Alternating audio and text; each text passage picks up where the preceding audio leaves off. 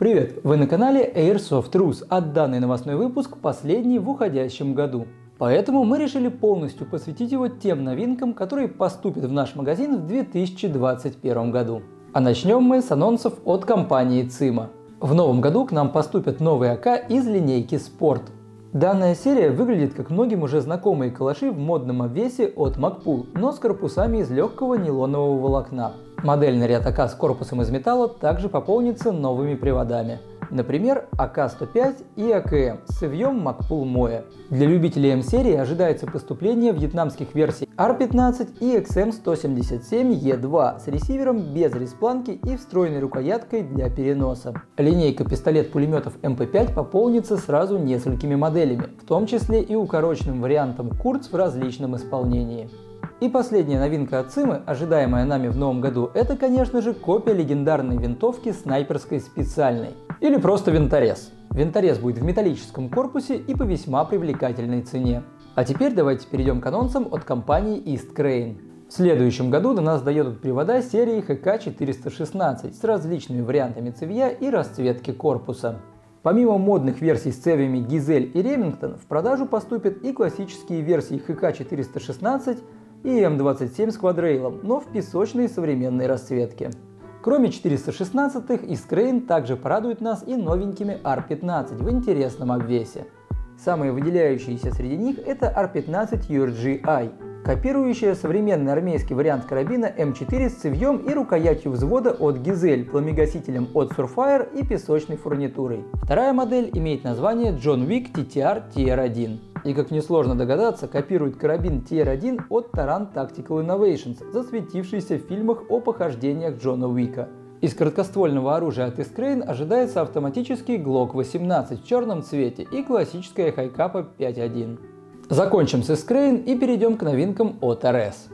В новом году мы ожидаем поступления ручного гранатомета GL-06, который является копией однозарядного ручного гранатомета GL-06 от компании Brugger Tomet. Гранатомет выполнен в форм-факторе Standalone, имеет складной приклад и планки для установки прицелов и другого навесного оборудования. В магазине GL06 появится в черной и песочных расцветках. Серию G36 также ожидает пополнение в виде винтовки SL10T и автоматов с современным обвесом IDZ, новыми кеймо-цевями, низкими планками под прицел и регулируемыми прикладами – Кроме самих автоматов, к нам поступит предназначенный для G36 серии подствольный гранатомет AG-36. Для любителей CQB перестрелок к нам приедет новая серия автоматов M45S. Данная линейка приводов представляет собой вариант карабина R15 под тонкие пистолетные магазины. М45С поступит в двух модификациях, отличающихся длиной ствола и цевья, а также типом приклада. Обе модели имеют корпус из нейлона, двусторонний переводчик огня и два механических магазина в базовой комплектации на 60 и 120 шаров. Как длинную, так и короткую версию можно будет приобрести в черном и песочном цвете.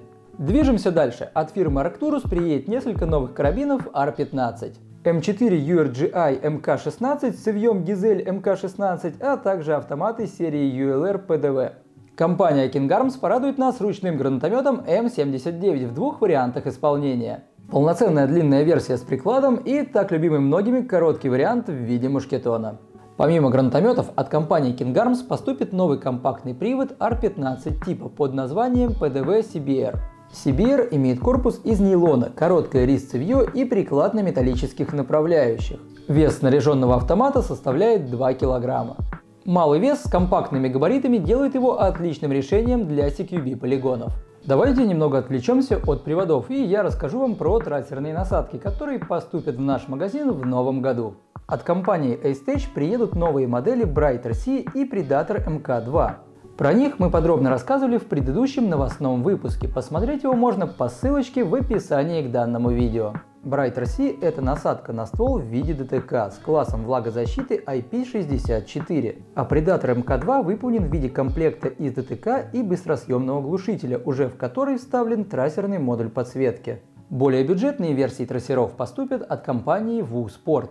И кроме классических трассерных насадок различных форм и расцветок, ожидается вариант насадки с имитацией дульной вспышки, выполненный в виде популярного пламегасителя навески KX3. С трассерами разобрались, движемся дальше. От компании VE ожидается большое поступление различных газовых пистолетов. Приедут всевозможные модели Глоков, Вальтеров, Кольтов, а также различные их модификации. Например, монструозная хайкапа T-Rex Custom.